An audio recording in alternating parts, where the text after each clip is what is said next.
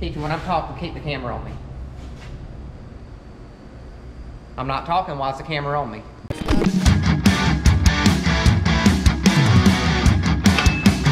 High five. Hey, hey, how's everybody going? Hope everything's doing all right for you. If you haven't already, please subscribe to the video. Give the video a thumbs up. Or if not, you know, just whatever, whatever you want to do. It's 2020, you can do what you want to do, right? Kyle's over there mowing stalks.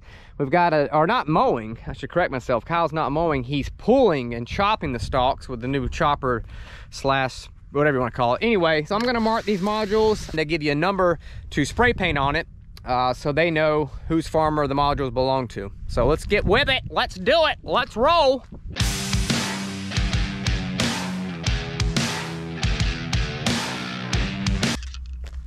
Lo and behold, the module truck has already showed up. Um, usually they're not this quick, but they must be on it today because I just called this in, shoot, not 30 minutes ago. So walk up here and get some footage of him stealing our module, taking it to the cotton gin.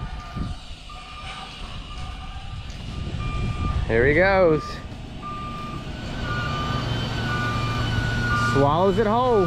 That's why you can't make one too big.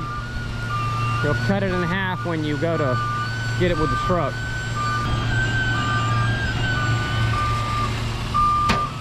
A little wet from all the rain we got.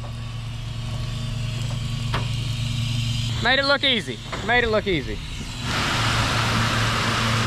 Go check on Kyle. Kyle done clogged it up. So, so this is the Harrell. This is the official name of it. Yep. So it's the same brand as our uh, module builder. Makes a cotton chopper slash pullet. Ding now.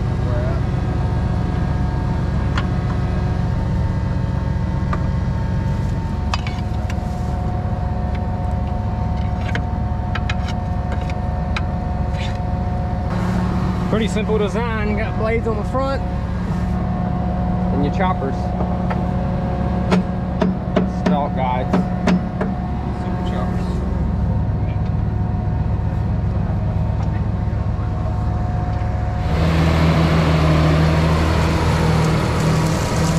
Nice. Looking pretty good. So it actually uproots the cotton stalks. It doesn't just chop them should be uprooting them. Which the main benefit of this is it uh, helps reduce your nematodes because your nematodes will feed on your roots of your cotton. So when you get them to the surface and then disc them under, there's really nothing for the nematodes to eat on. Now I came up here, we are starting to move some equipment. This is an old peanut picker, a Lilliston 1500 two-row picker. Uh, Dad's had it. It's actually in pretty decent shape. Uh, it's been up on the shed for quite a quite a while. Universal still good? Oh yeah, look, look at that. So they've changed quite a bit, but not really. It's still kind of the same concept. Shaker pan in the back, header teeth in the front. Got your basket. It's the next day, and I don't know if we're gonna get to pick cotton or not. We've got uh, cloudy skies, as you can tell. And they're calling for rain, uh, moving in about 12 o'clock, so it's not looking uh, not looking promising to pick any cotton today. Been an issue since we've got this cotton picker is uh, when we go to let the basket down. So this is the basket up, but when you go to transport it, you let the basket down. That way you can get up under all your trees and your power lines. But it's not letting down. Why is that, Jeff? Well, one of the problems we got is uh, we got these two bars. Yep. That come down and they push on this bar, which lets your shoots down. Yep. Your well, six shoots. Exactly. Well, this bar is bent. So when this bar and this bar come down, that bar touches first. And then it just kind of gets it all cattywampus. Cattywampus on us, cattywampus on us. Probably get that D-walled up there, a little small 3 8 mm.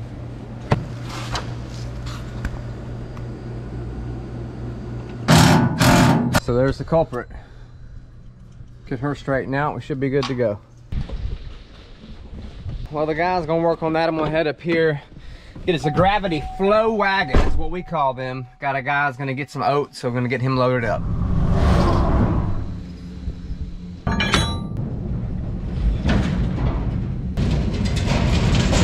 That's where we had the corn augered out. You can tell it's germinating good.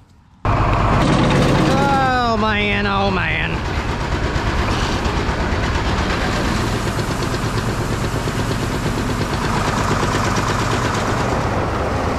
Well, we're gonna try it, see what it's gonna do. Hopefully it, uh, the rain will hold off for a little bit. Maybe we can get a module or two picked. And Keefy said he's gonna let me pick cotton today. Got more rain coming, got a hurricane coming. Anyway, we're gonna try it. Go as long as we can go anyway. A lot of regrowth. You'll notice at the bottom, it's already got leaves coming back on. And regrowth is not a good thing, mainly because it stains your cotton. So when you pick cotton, you want nothing but a stalk and cotton to pick. But when you've got leaves going through the cotton, it stains it. And uh, the gins don't like that, so they'll dock you on your price. We don't even know if we got any jumper cables. Boss's truck. I don't know if Jim's got cables or not, bud. A lot of people don't like running the module builder. I like running the module builder. As long as it ain't 95 degrees outside.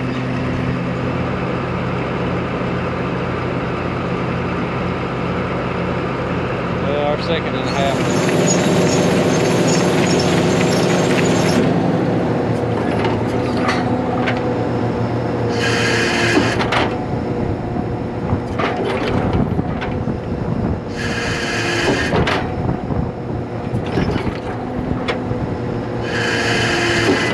All right, ready to roll. Well, we didn't pick much cotton. We got enough for a module. Just wasn't picking the cleanest. And we got, how long before the rain gets here?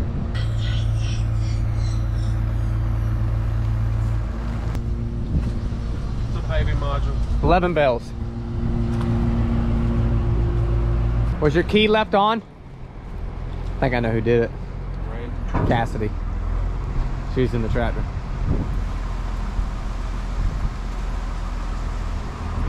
That's good. She is. Hey, Keithy. What's up, bud? Hey, everybody. You're gonna have to pat that gas.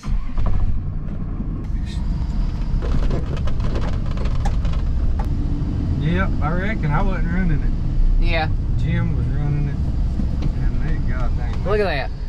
Those three rows right there. All the way down. That man, that looks like Daddy's gonna have a fit when he sees that. Tell you that much. gonna have to repeat that. Y'all need to let me get on that thing. So if you guys are just watching, tuning in live, we're headed down here. Kyle's running the cotton. Is pullers? Digger? What do you call it? Chopper. Chopper. Cotton chopper. Stalk chopper. Stalk chopper. Um, we're gonna check him out, or check the implement out, see how it's doing. If he's wadding up everywhere, that's gonna be a nightmare trying to dist. You ain't lying. Yep, let's go check it out.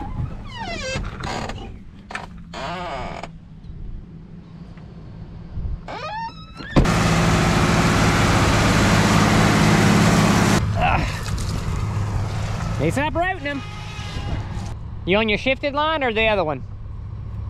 Every time I shift it, We I have to do it yeah, by hand. we never could get it on the Oh right, Lord. We never could get it on the right line yesterday. I'm Just having to shift it every time. It's probably got something to do with the fine, width of the implement Right. or something like Well, that's that. aggravating. Yeah, 'cause I had to get Jim to um look at the GPS. I couldn't Yeah, well, good luck right. finding him. He's frolicking. All right, we're gonna head up here and look. Kyle's got this thing all set wrong. Oh, let's see here. Are better than most. G to pizza in here? On prescriptions. Smells like pizza. Smells like pizza. Yeah, no, you rev it up afterwards. No, you gotta hit about ninth gear. Come on. You don't know what to do. I know what to do. This ain't my first rodeo. I'll tell you that right now. Right now. And I tell you another thing, you don't need to be listening to radio on this tractor. Why not? You need to focus on what you're doing. I do focus. Hey, put that daggone phone down. You need to focus on where you walk. You fall too much. You need to mind your own business. I don't want to hear you running it any slower than 10 miles an hour. All right. It look good without doing Now, I don't look that good. it. All right. It doesn't. Look at that right there. Looks like pizza. Cheese pizza over there. Nobody likes cheese pizza. All right, Kyle. See ya. Love ya. See you, Kyle. All right, I guess we're gonna head back to the barn now. We've got uh, Ripper Roller. We gotta take some feet off. And when I say feet, I don't mean the shoes of it. Do we, Keefy? Gotta take your shoes off. Gotta take the shoes off it more than you alright? I'm fine. I'll get Jim to edit that out. It's going. Hey guys, I'm gonna give Keefy the camera. We're gonna do a quick tour of the shop. So welcome, come on with me. This is our shop. I don't know how big it is. Daddy built it in 1991. How many square foot would you think this thing is? No idea. It's big. This is our 4960. We're doing some repairs to it. These are our dirt bikes. This is Dad's 230. Dad, Daddy's 250. Um, uh, we got our hydraulic oil, our engine oil. Keep it be quick. Quick shop. Uh, cotton seed. We got some uh, antifreeze coolant, absorb it. Oh, we got just a mess of hoses right there. Just, um, don't trip right there. Uh, this is all our bearings and everything. Uh, we got a bunch of sprayer parts, fittings. This whole rack, y'all, came out of Keithy's truck. All that. That's how much glue was in this truck. Uh, got all this. Keithy, when I'm talking, keep the camera on me. I'm not talking while it's the camera on me. Okay, now back to me. All right, so we got all our chainsaws, blowers, chainsaw gas. This is real cool, y'all check this out. These are all of our filters, you name it. Engine, oil, cabin, you name it. Oil, hydraulic, filters. All right, forklift. Um, guys, October 31st. You gotta check this out, look at this. Specialty peanut point blades, Peanut Man. Um, John Deere Gator. Here's all our bolts and stuff. Um, what else? Got a fan, a welding table. This is where Keithy does all the welding, cutting, you name it. The shop's a mess, but this is real life. This is how a real farm operates. Come here, I'll show you the office real quick. This is just all of our chain lube, blaster, uh, you name it, odds and ends, sockets, sockets. Here's a craftsman toolbox. Are you going or not? Okay. Um, this just tools. Come on, I'll show you the office. Field Rows. FieldRows.com. All right. Here's the office. This is where, in the mornings, Daddy will always be there. Jim's there looking in his eyes, wishing he was the boss. And I'm usually still sleeping. Keithy sits here. Uh, Jeff's here. Kyle's in that chair right there. We'll show you a quick tour. Who put that in there? Show him. Did you put it in there? Nope. Wasn't me. Shut it. Shut it. All right. Appreciate it, guys. I'll take it. Thanks, Keithy. That's a quick tour shop. Uh, or that's a shop. A quick tour of our shop. If you guys haven't done already, please subscribe to our channel, like our videos. And until next time, keep it, keep it in the, be in the Field Rows.